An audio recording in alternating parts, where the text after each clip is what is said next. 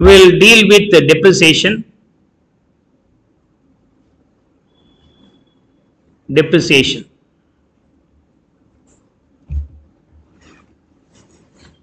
depreciationல பொறுத்த வரைக்கும்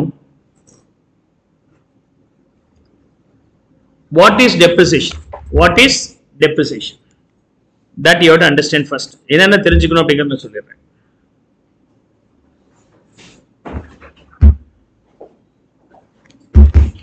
okay what is depreciation and uh, reasons for depreciation reasons are causes causes for depreciation and uh, ஏன் பண்றீங்க objectives of depreciation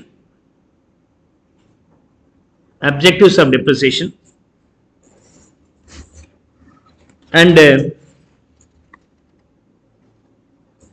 method of depreciation.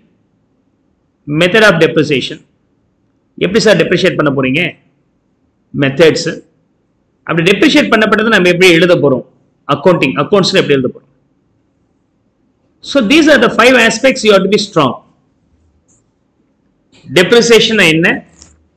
Causes for depreciation, objectives of depreciation, methods of depreciation, and accounting for depreciation. So we'll see one after one in the coming lectures. Is that okay?